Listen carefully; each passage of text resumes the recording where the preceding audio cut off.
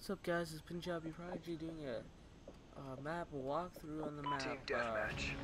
Unearthed. of work, Ghost Squad. I'm not doing bots, I'm just to show you guys some spots I like to go to, some rush routes I like to take, and how to get the new secret weapon. Let's jump into that.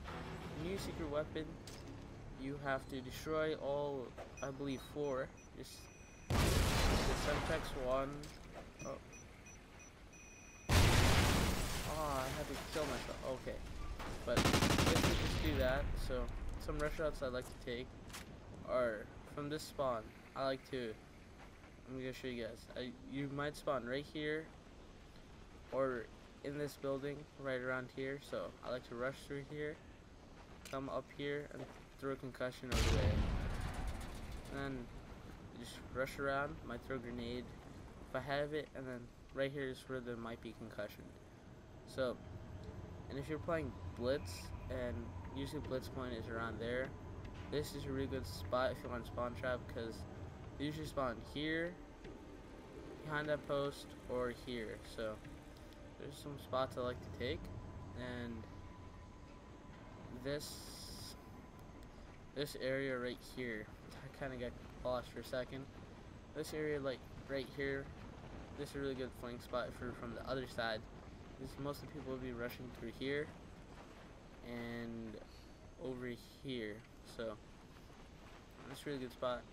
And if you come out through here, this is a little show you guys.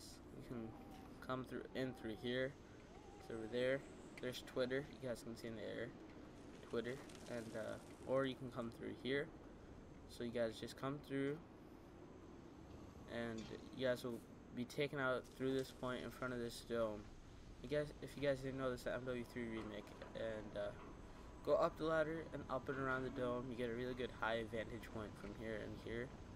And you get a lot of times you get stuck here because a lot of campers like to stay around there and wait for people. So usually the bits and A or C dominations there, and then one flag's in there, and I believe the other is in there. If they kept it the same from MW3.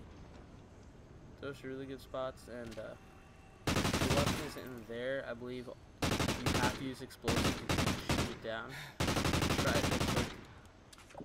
But I don't think I'll be able to change my class, and oh. Alright. Really? Okay, but this is another good rush route if you guys go through here. Get a nice advantage point through here.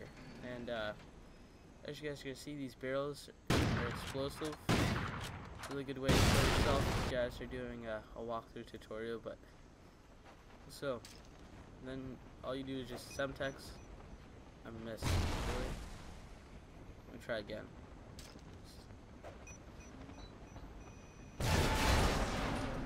Keep getting lower, and I believe there's two there, or just one. So let me just explode the other cannon and show you guys.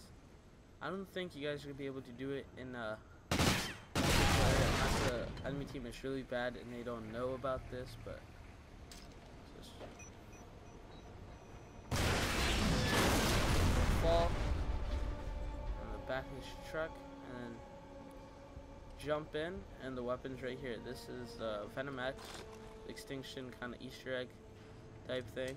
So you fire. This is like a Semtex grenade, Semtex grenade launcher. So you click LT to fire, No, RT to fire, LT to detonate. That's kind of how it works. So, and there's no scavenger for this. Once it's gone, it's gone. It does respawn, but it takes a little while. And you could also ride this crane right here by clicking X, and this will give you a little higher advantage. And I, wow. So yeah, that's basically the map review, guys. Let me just go through the really main areas you guys are gonna have trouble with, or enemy encounters is right here, over here, and this dome building. There's gonna be a lot of people in this dome building. Sometimes here because of spawn. Over here if there's campers, and around this area, just this is the other side of that side. So this is a little back entrance if you want to flank to get a a or C dom, which would be right here usually. I'm jumping, so that guys is map walkthrough. Hopefully you guys did enjoy it, and if you do, subscribe, and if you'd like to see more, leave a comment, and I'll post more um, map walkthroughs, and which will all be up by Monday. If you guys do say you want more, if you don't, comment that too. Just say you're really bad at this stuff. Don't do anymore. Please stop, and uh, I'll stop. So thanks guys for watching.